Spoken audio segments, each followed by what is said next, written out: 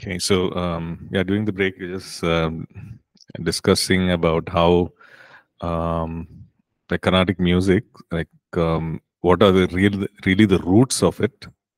Like, was it um, received by um by inspiration from certain deities which they worshipped and, and so on. So we're just talking about that.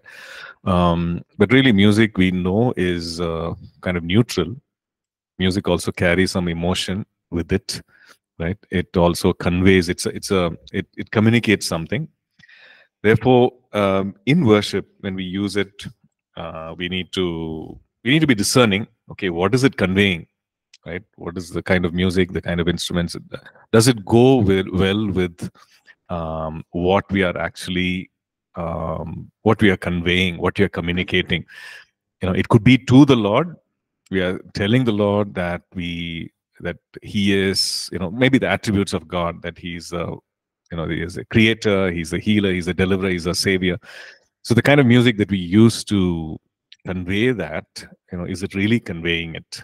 Okay so it's a very subjective thing again um, because you can say god you're you are my savior in so many ways. It can be a very celebratory declarative triumphant shout god you're my savior.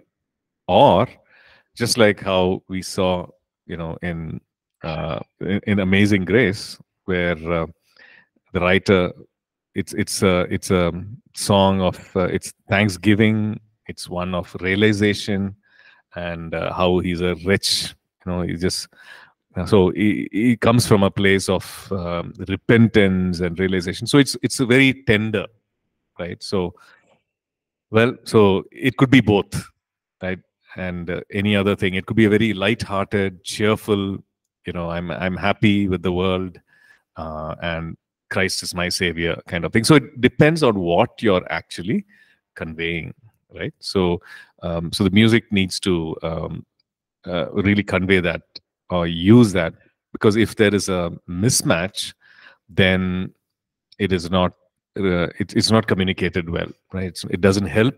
It doesn't help in the edification. It uh, focuses more on whatever the sentiment or the emotional part of it and leaves out the the truth aspect of it, the content of it. So uh, one needs to be uh, careful of that. So so anyway, when we see this, um, you know, uh, this entry of these kind of songs or music in the church, um, yeah. Then again, I was just talking about how in our Indian churches, when the when we had the Western missionaries come and um, you know share and uh, establish the church.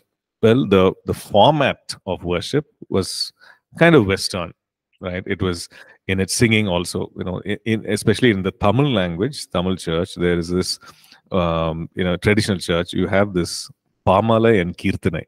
I don't, I don't know in what other languages how it works. Okay, so in Pamala really means that uh, these are songs which are hymns uh, which were which uh, traditionally are Western in nature, but they have been translated and musically kind of maybe changed here and there and adapted for Indian worship.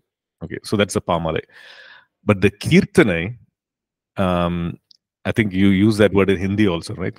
Kirtan, Kirtan, it's uh, use that. Okay, so Kirtanai are actually more indigenous in nature, right? So which means that uh, Indian tunes it, it would lean towards the Carnatic music, Indian tunes, uh, and more suited for Indian instruments rather than a church organ. Right? It's like that. So uh, and Kirtana, you know, you see both uh, in the churches, and then I was just sharing that there's a you know revival of this kirtana you know, people want to find out okay this is our roots these are our roots this is our part of our culture and and so on and again we need to be you know we need to see culture is so uh, so deeply or very closely intertwined with beliefs, with faith, right? So we need to make sure that uh, uh, that we don't err on that side. You know, we just need to, you know, if it is if it is something to do with faith, if it's something to do with the belief or a religion, then uh, we need to see, you know, is it purely culture or is it, um, uh, you know, is it something to do with religion, right? Um, religious belief and so on. Um, okay, so, um, so in the West, you know, this is what we we see.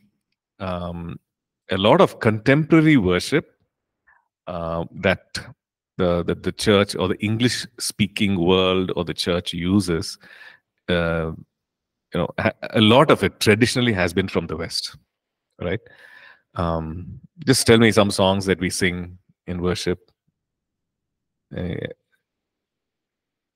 some songs. Anything any choruses that we use in worship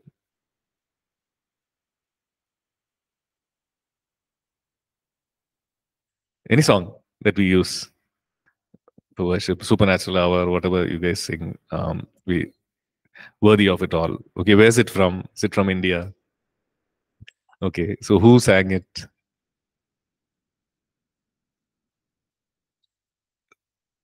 Sorry, Okay, let's find out.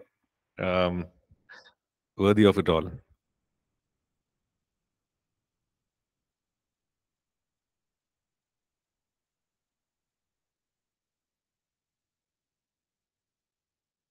Good Brahman and one thing, worthy of it all. What else? I exalt thee, holy, holy, holy, right? Um, then the Hallelujah chorus, right? Everything. Uh, as a even as an Indian church, you know, we see that a lot of it comes from the like from the west. And of course uh, these days we see a lot of songs being written locally as well right? Which is which is good right? And in the yeah how great is our god and so some of the uh, like the the songs that we use and these are beautiful songs right? These are beautiful songs and songs really i would say uh, like i exalt thee for example the tune and the words there's nothing in it right I exalt thee, O Lord. That's it. Right? And the tune is again very simple, but it's a very anointed. It's got uh, it's uh, I think it was birthed, inspired. Um, you know, it, it's like that. You know, Ephesians five, right? Uh, be filled with the Spirit and sing to one another in psalms, hymns, and spiritual songs, making melody in your heart to the Lord. It, it's it's from that kind of a moment, right? And um, okay, let's let's uh, let's just explore about that song. Right? I exalt thee, or we exalt thee. Okay. It is sung by Jesus culture, but it's not uh, originally from Jesus culture. Can somebody find out original composer?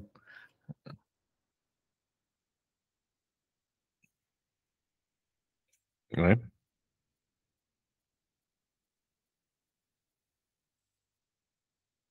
Okay.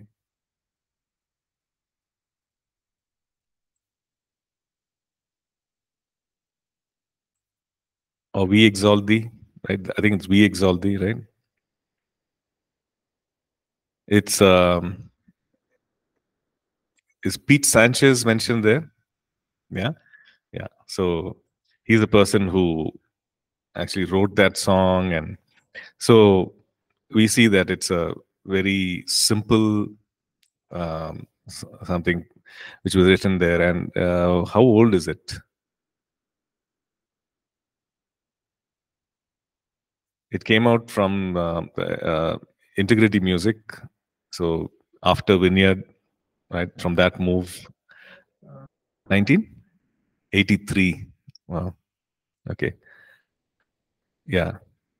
So um, so we see that uh, uh, yeah integrity music uh, i think the release date was 86 uh, right from integrity okay. so we, we see these big moves or even within the church we see several um, like these waves of songs being released right uh, starting with the with the um, uh, the the hippie movement or the, what you call as a um, sorry um, the, during the in the hippie community uh, what we call as the Jesus movement, right, from the 60s and 70s and so on. So we see that um, several songs being released, several uh, which are used, which are very quickly adapted by the church, right, taken by the church. Okay, it might take, it would have taken some time for the Indian church to receive and uh, uh you know make it part of their worship and so on.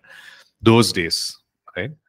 because somebody one uncle and auntie will go to the us and you know or buy one cd bring a, bring it or or a cassette and then you get it here and then you and in the els or om bookstore you'll get the cassette not the same time maybe after a few months or maybe after a year you could get the same cassette and then you you know you listen to it and then you know it is maybe sung right um, so that was the usual thing. But nowadays we see that the moment it is released there you know it's on youtube uh, it's on the net so everyone gets or or other streaming platforms and everyone get to see it immediately and uh, also use it right?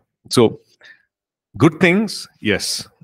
Uh, several good things um, several advantages when the body of christ globally is blessed right? So we use it and um, and and typically it's uh, it's urban contemporary it's a language that we use or the the the generation uses and so on. But with that also comes a conflict a struggle conflict conflict of the old and the new. And this has always been there through the ages always been there right? In fact when the hymns were first um, introduced in the church right? We're talking about the dark ages. We're talking about um, what was u- what was used in uh, you know uh, during that time and and even the roman catholic church and so on. More of a chant, chant more of uh, what the monks would use as chants right? Um, but then over a period of time that also changed with the reformation. So with the Reformation, when these kind of hymns were brought into the church, people were, were saying, okay, this, this, there's not, church is not the place for it. This should be sung in bars. Can you imagine hymns? That was a, you know, because for them, it was, uh, you cannot have these kind of songs with music and uh, which is kind of stirring up certain emotions of love and and all that towards God. You cannot have that in church, right? It it, it belongs in bars. So uh, I, I, was trying to find a comment like that of the early hymns. Uh, I'll share that probably next class. You know, and it's amazing. You know, you when you read that comment, you'll think it's it's somebody complaining today or yesterday right? It was yesterday's article on the net about kind of music that is being used in church and so on. But you'll realize that it's actually not today uh, 2024 but it's those days we're talking about you know 1600s and 1700s and so on right? It's those times and uh, it's referring to that right? So this this conflict of old and new and hymns and choruses and the kind of instruments being used and what should not be part of church has always been there right? And it has changed through the years right? So we go back to john chapter 4 right? We go back to john chapter 4 and look at verses 23 and 24 okay? So john chapter 4 verse 23 the Lord is talking to the woman at the well. So this is what he says, right? The hour is coming and now is when the true worshippers will worship the Father in spirit and truth, right? For the Father is seeking such to worship him. So he's seeking a generation of worshippers, a body of believers who would worship in spirit and truth. Verse 24 God is spirit, and those who worship him must worship in spirit and truth. So it's like very categorically saying if you want to worship you must worship in spirit and truth. And i think we've looked at it in detail. What is this worship in spirit? You know worship out of your spirit out of your innermost being. And uh, it is not something superficial but it's a very deep communion with god. Uh, and um, worship in spirit could also mean that you are led by the spirit of god right? The spirit of god leads us into god's presence and we worship by the spirit. Truth means that there's no pretense there's no hypocrisy. You're sincere true. The lord jesus says about the word he says about uh, and, and when he's talking to the father he says thy word is truth. Your word is truth. So as prescribed in the word of god we go through all the psalms and we see these different expressions of praise and different postures of praise and different postures of worship. So all that right?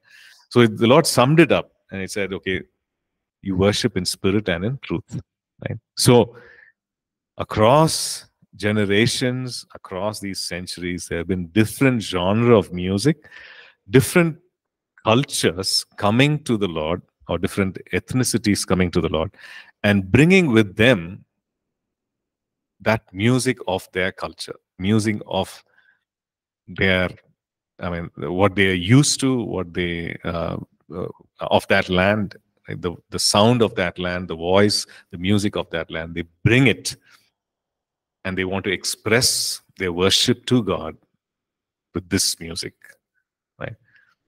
And the only thing that only qualification is that you must worship in spirit and truth you must worship in spirit and truth. The lord jesus said no options. Those who worship the father must worship in spirit and truth.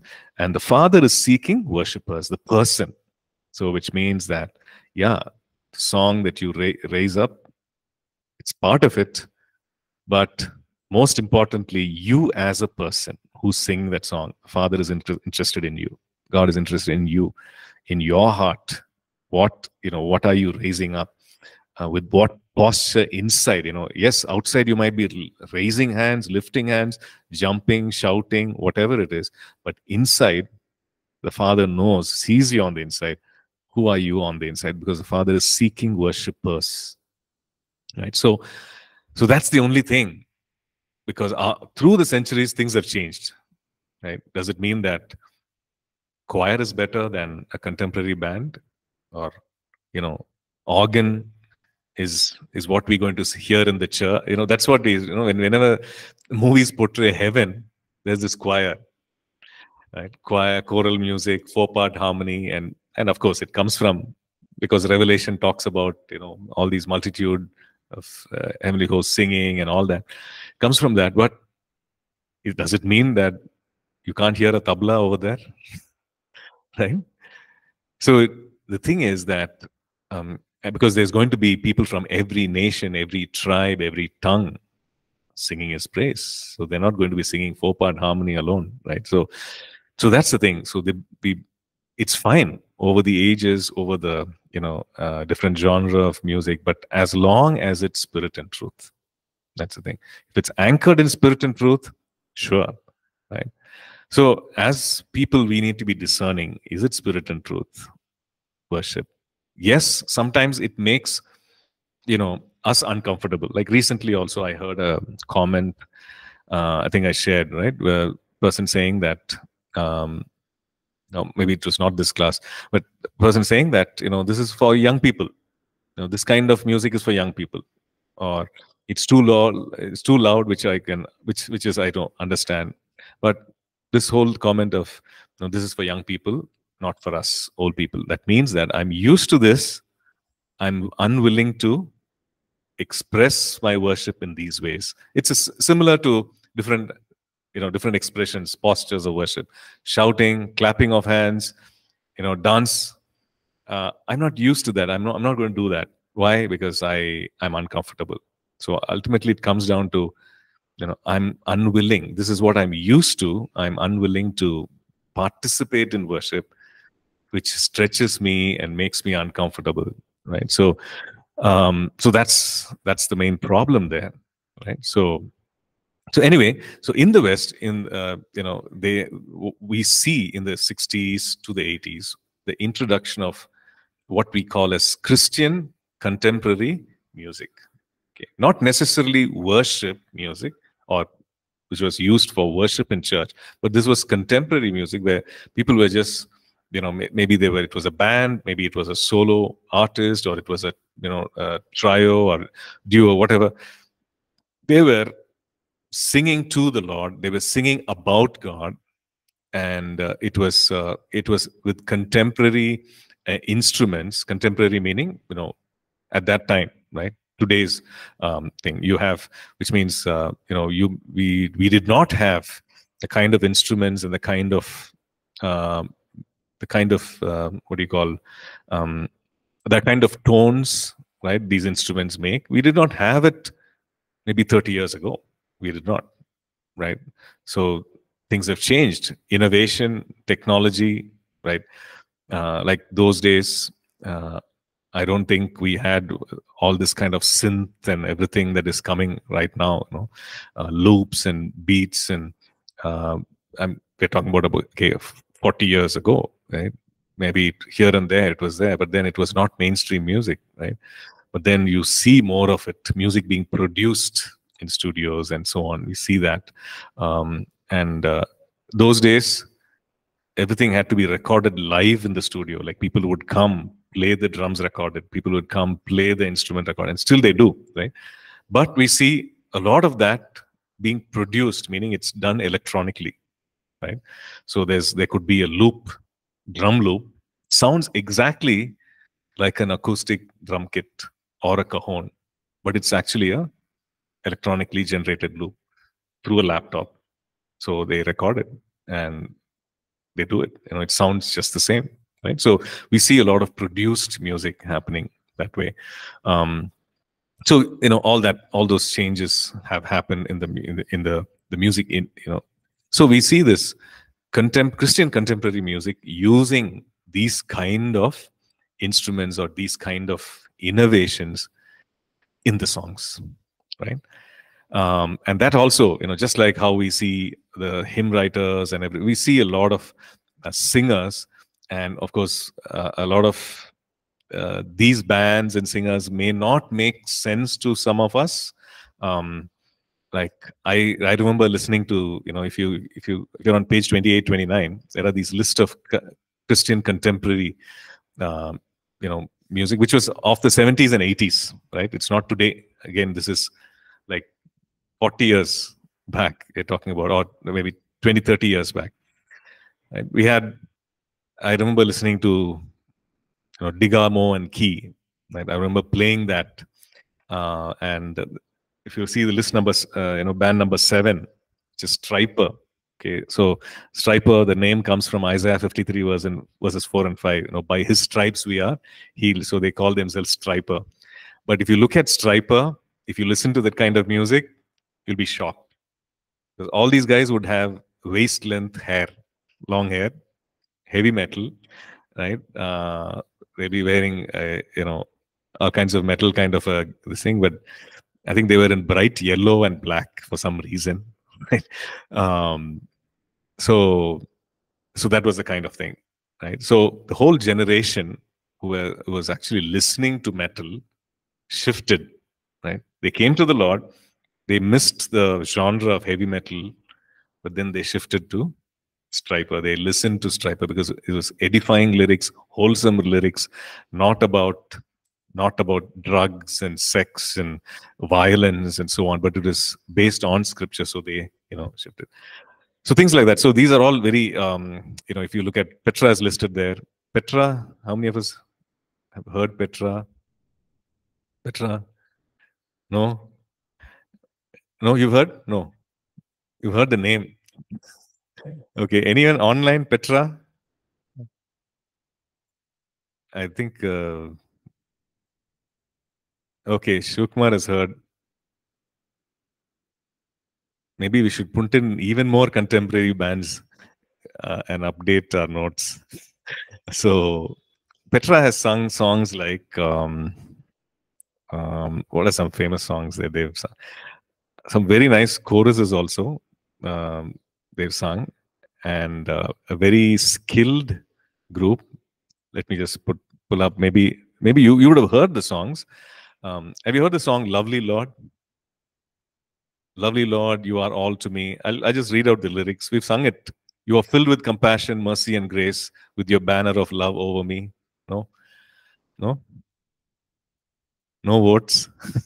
okay, it, it goes like, "You are filled with compassion, mercy, and grace, with your banner of love over me." No, lovely Lord, you are all to me. Okay, uh, right. So, um, so that's that's Petra. Petra also has sung songs like "Beyond Belief" and, and all that. So, um, yeah. So um, maybe you can you can actually listen to a song by Petra. Um, let me just. Okay, what about this this chorus? Uh, they've sung this chorus also. Um, I love you, Lord, and I lift my voice, but it's a remix of that. Uh, it's a they've done that in one of their albums. They sang it and they made it popular. Like everybody who um, the battle belongs to the Lord. Uh, okay, so um, so Petra uh, again. Has anyone heard the song called "Just Reach Out"? He'll reach in. No. Okay. Okay. So you you can listen to these songs actually. Uh, you can listen to songs by Petra Safe Band. You know, you can listen to some of their songs as well, right? Um, okay. Uh, th- that was in the 70s, right? So Petra comes from the whole thing of rock and so on, right? So similarly, we see that the the worship. Okay, now these songs may or may not be used in congregational worship. Okay, so when we say congregational, we're saying okay, in the gathering, people are singing. You know, some songs in the gathering, it's not possible for the group to sing, right? Why is that? It's not possible for the group to sing together some of these songs. Hymns, everybody can sing. What is the difference? If you if you look at hymns, everybody can actually join together and sing. But some songs, some of the modern ones, not everybody can't it's not possible uh, for people to sing together congregationally or it's challenging.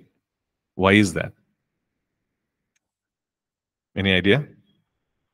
Okay the composition but um, what about the composition?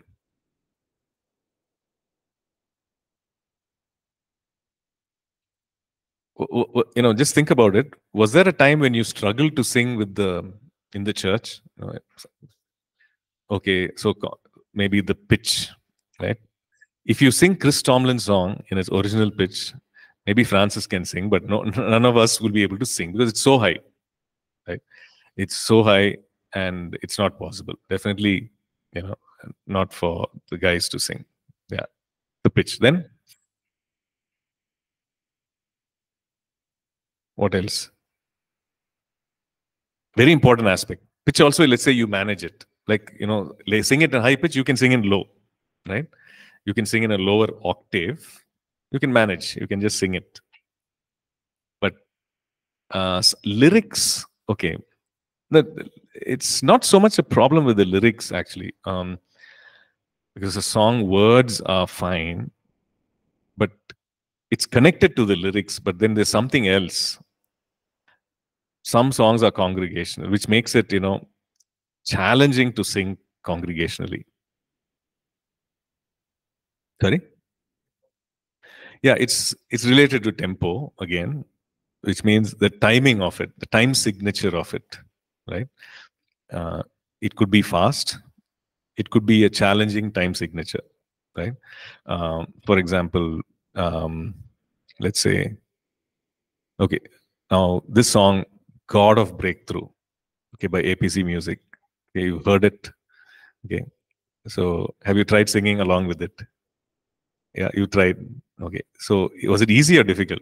You compare that with any other song. Was it easy or difficult? It was easy yeah? Okay it's in the time signature of 7 8 or 6 8 right? I think. Oh, 7 8 sorry. So it, it means it'll be like um dun, dun, dun, dun, dun, dun, dun. that's the chorus right? Mm, da da da da da da da da da da da da da da da da. So for the group to sing along, it's difficult. I can sing alone. I can sing it. Even to play and sing, it's a little difficult. Play the guitar and sing, right? So it's it becomes a little challenging. So similarly, you know, some of these bands that we listed out, they sing songs, but you can't really sing together as a group. You compare that with any other, you know, uh, like a worship song, like uh, a praise song, like uh, Eshu Naam, or you know, uh, I exalt thee. So that follows a simple four by four kind of a time signature, right? And its tempo is also part of it. Sometimes when it's fast, when it's a fast song with a lot of words, you can't sing it, right? You can't. So, so we see that all these things happening uh, with the introduction of contem- Christian contemporary um, music, right? So, the worship movement also, if you can call it that, right? The worship uh, which was happening in the churches also went through a shift, right? Um, it's interesting when we read about um, you know revivals and visitations and um, has it has it already been done? Revivals visitations you've already done right? So if you if you read about some of the uh, you know the outpouring of the spirit and uh, the revivals and uh, that happened you know you read about what happened in toronto okay? A lot of um, you know uh, uh, uh, uh, if you see on the internet, there are a lot of things that are spoken negatively. There are a lot of you know a lot of talk about it, but actually, you know, if you, if you look at it, there's a lot of songs which came out of that um, that revival. Right? The any any idea what church was birthed around that time? The Toronto revival, Canada, you know, the Toronto airport revival it's there in your notes. Revivals, visitations.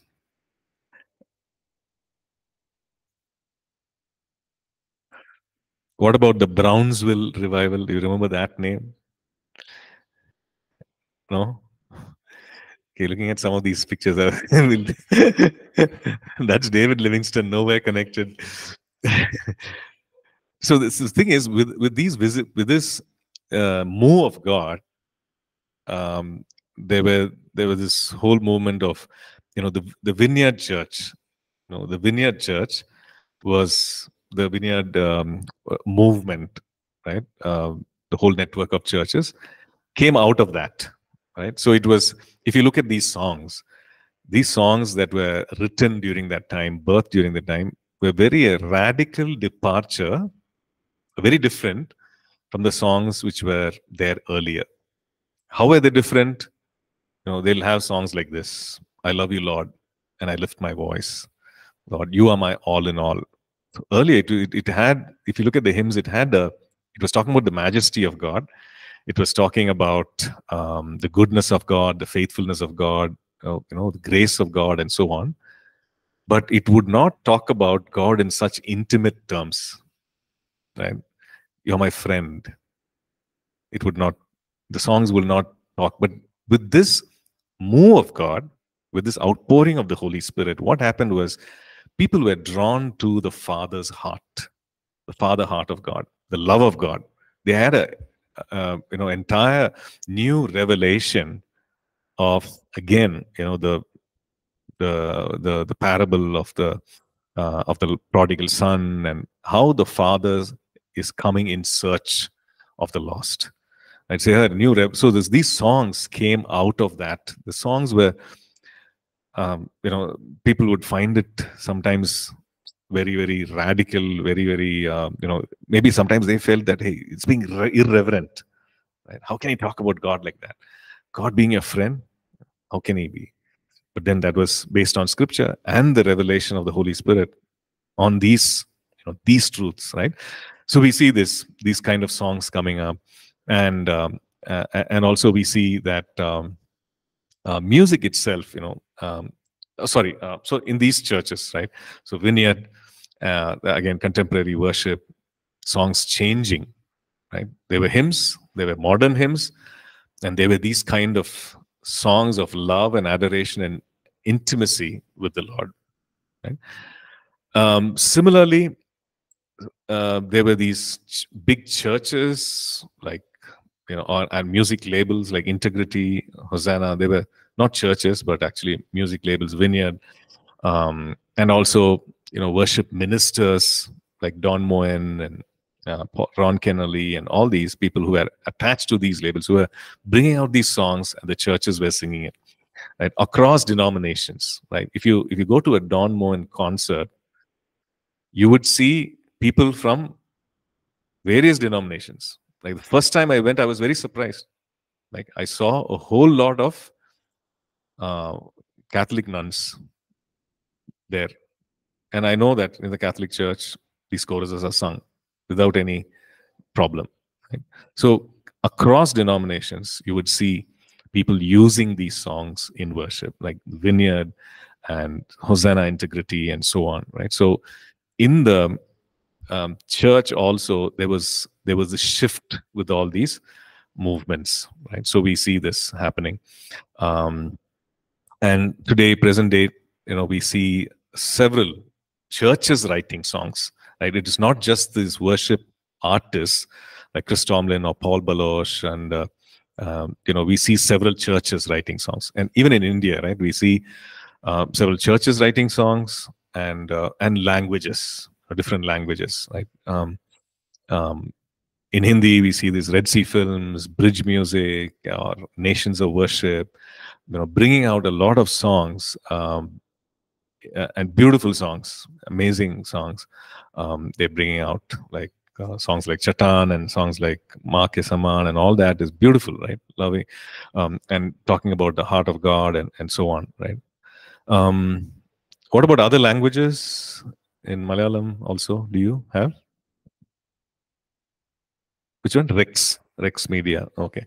So they also bring about um, these songs. Any other languages apart from, what about Bengali? no idea. I'm sure there must be, right? There are different, uh, and Tamil also, you know, there are these worship artists uh, who have brought out some very contemporary songs which the church is using, right? Um, like Gersson Edinbaro and uh, John Jebaraj and others, some controversial, but but, but beautiful, wonderful songs. Um, and uh, so they, they're being easily adapted by the church and the churches using that. Um, so, so you see that you know people are actually they have worship locked into their hearts. Just imagine there's something that is locked in. What is it? I want to express my worship to God, but it's in my heart. This song is like a key which unlocks that. Right?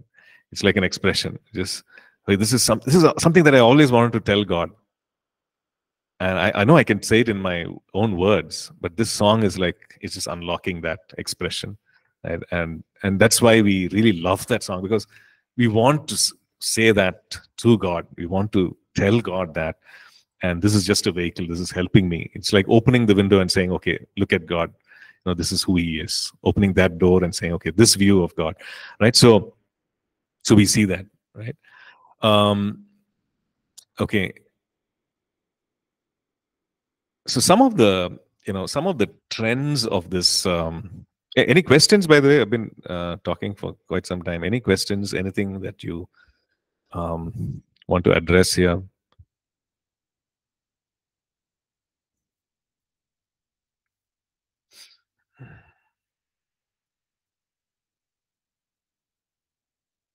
Okay, so the so the no notes have a lot of information about mainly about the Western Church. So you know you can go through that. It's um, helpful uh, it's good to have that understanding knowledge because we use today a lot of these songs eh, in worship any urban contemporary church would use it and some of these songs are translated into our local languages so these are bilingual you know you sing it in english sing it in hindi or sing it in uh, tamil or whatever you know so some of these songs are they are so popular that they've been actually translated into many other languages as well. So, um, so it's good to know the roots and why and how, etc.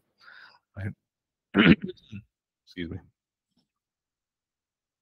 Okay, so um, let's look at uh, some of the downsides of it. Okay, um, downsides meaning some of the uh, negatives of it. Okay, so along with this, excuse me, along with this um, introduction of these, you know, contemporary genre of music. Okay, so it also brought in some of the practices of the music industry. Okay, music industry, which is not necessarily, uh, which, is, which is definitely you know kind of secular, and so some of the practices of the music industry. So the music industry would have certain practices like giving out of awards, awards shows, awards ceremonies, right?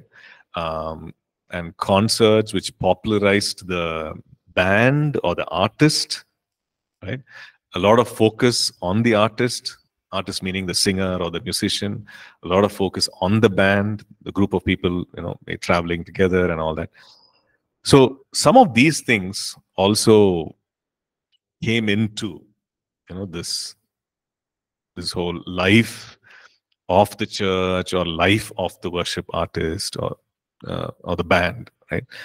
So one of that was the the christian awards thing. You know we have awards where um, it you know what are these awards based on right? Awards are based on the popularity of the songs right um, the reach of the songs the popularity of the songs uh, and they are you know uh, maybe it's on different charts like billboard and all that um, it's on billboard for let's say so many weeks so many months it's the top of the chart so this rating based on popularity right all that um, uh, unwanted attention, right? Uh, unwanted, let's say, focus and fame and so on. So with that also comes the downside, you know. So people get used to it, people expect that, and that becomes the norm. Like people are saying, okay, how many views? How many views does this video? How can we push up the views? Right. So the, the focus is not okay, how many people can we reach with this? How can it be a blessing? but it becomes it's a fine line right it's a very thin line okay i want this song to be a blessing to as many people as possible as many churches as possible. Okay. Now that's one view.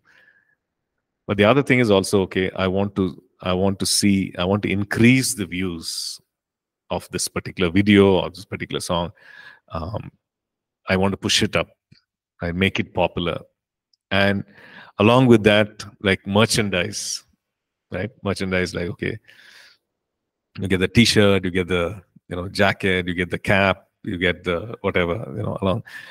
So if it is helpful for the people it's fine but it's it's more to do with pushing the views of the song bringing uh, you know focus on the song and so on. So um, so that's that those are some industry things which came into music industry thing which came into the the worship um, landscape, while we see that worship is a service, worship is you know cons- being consecrated unto the Lord, it's holiness, it's a calling, it's a priesthood, and all that, it it gets affected, right? It gets affected. It gets sometimes even ignored, and so like what happens uh, like I'll, I'll, just tell you one small example of uh, you know some of these contemporary worship leaders of our our nation right so they came up through difficult times right the songs were not accepted the church was rejecting them as people and all that. So they went through some difficult times. Eh, financially also they went through some very difficult times. Like uh, you know literally no food and uh, those kind of time you know. And but now you know god has blessed them. Their songs are a blessing.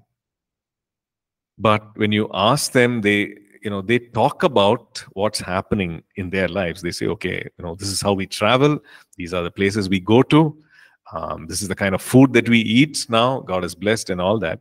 So the next generation, you know, thinks that okay, this is the norm. This is what I should aim for. Right? I should be. I'm in ministry, but this is the big stage that I should aim for. Right. Why? Because that's the, that's the scale. If I've reached this, if I've achieved this, then I'm a success. Rather than fruitfulness, lives changed, people being blessed, people being drawn to the heart of God. You know, the the measuring scale changes, the rating changes. Right? That's a dangerous thing. So you, you know, another generation just comes up with a totally different scale. Right. Um, so then it becomes the heart of worship changes. Why are we worshiping? The whole definition of it, the reason for it, motive of it changes. Now, now that's a that's a dangerous thing, right? And it becomes even like um, you know, it becomes like what we see in Judges, right? Um, it's um, Judges 2 and verse 10, right? When all the generation had been gathered to their fathers, another generation arose after them who did not know the Lord nor the work which he has done for Israel. Judges 2, verse 10, right? So the previous generation, they knew the Lord. The next generation did not know the Lord, did not know the work. So that is what we see. So, well, it may not be as drastic as this, but then the core of why we worship, the motivation for worship, the calling of worship, the anointing for worship, right? And how it is about the presence of God, right? The manifest presence of God, seeking God's heart, seeking the presence of God. And all that gets lost and buried in the other things, right? In the externals, in the hype. So that's a dangerous thing. So a generation is ri- could rise up seeking only that. Right? It could it, it need not be only from the cities, it can be from anywhere.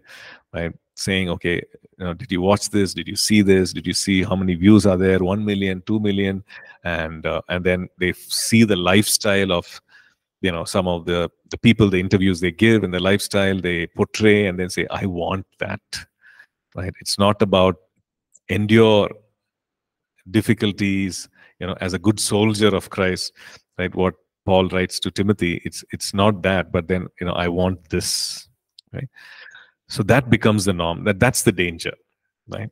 So one needs to be careful. You know the second thing that we see uh, a negative is a band mentality. And you know that's that's another thing that we need to um, we can look at. There are some things that we can go into. Um, i won't go into the full details of it in in today's class but then you know look at a band mentality versus a worship team right? A worship team or a worship ministry a team of volunteers who are serving in church or people who feel called to minister in worship versus a band mentality. Okay so like if you look at a band band is a close circle of four or five people and uh, but when you see the worship team is um, is not that.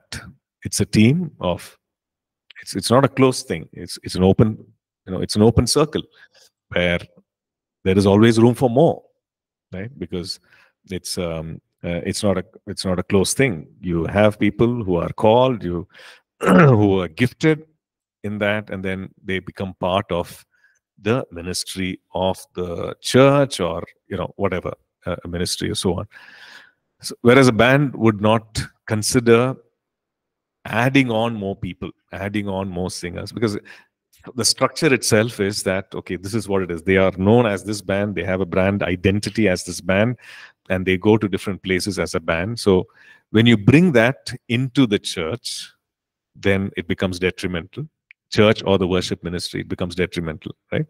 Uh, why? Because you're excluding others who could be called who could be gifted who could be anointed. You're excluding them from being part of the ministry right okay. So um, we'll stop here and then we'll come back uh, next week to continue right? Thank you. God bless